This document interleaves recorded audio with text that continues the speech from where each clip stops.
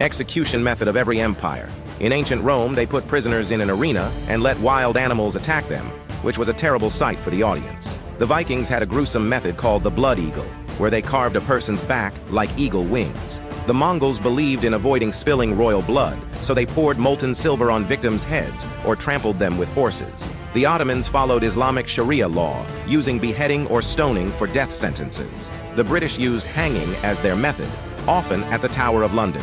In revolutionary France, the guillotine was a symbol of terror, swiftly beheading victims.